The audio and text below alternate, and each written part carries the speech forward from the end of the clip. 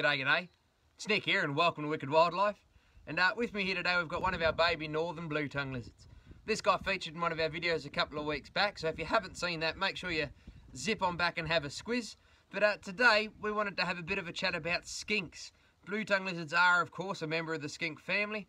So uh, stay tuned and we'll have a bit of a chat about what has to be one of the most diverse families of lizards in the country. To put up some nest boxes or plant some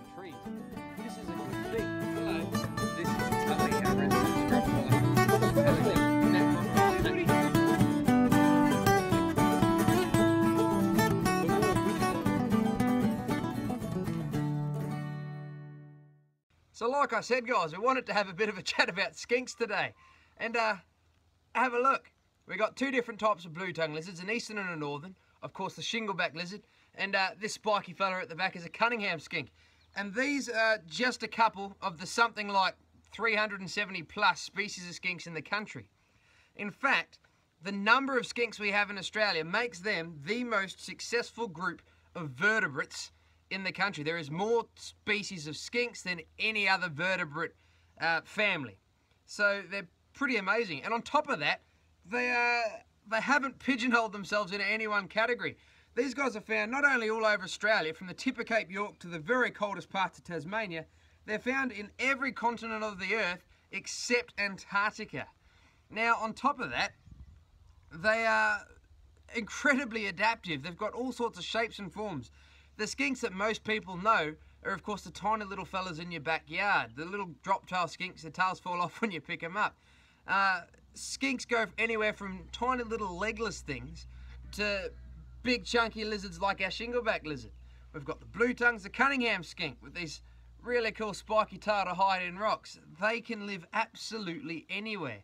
In fact, the smallest of the skinks are only a few centimetres long, and the biggest skinks, who's an Australian species, the land mullet, gets up to 70 centimetres long.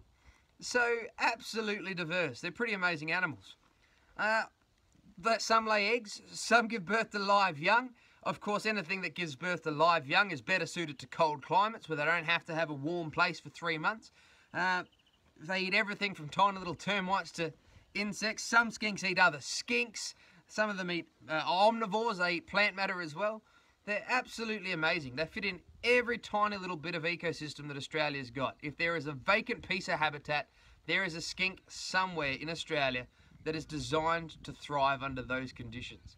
So we sort of, uh, I guess, don't pay them a great deal of attention because we see them all the time. But when you look at the, the diversity of these guys and the, the conditions that they can thrive under, from the, the top of the Alpine region to the tip of Cape York to windswept islands in the middle of the Indian Ocean, you know, these guys are absolute colonizers. They're pretty amazing.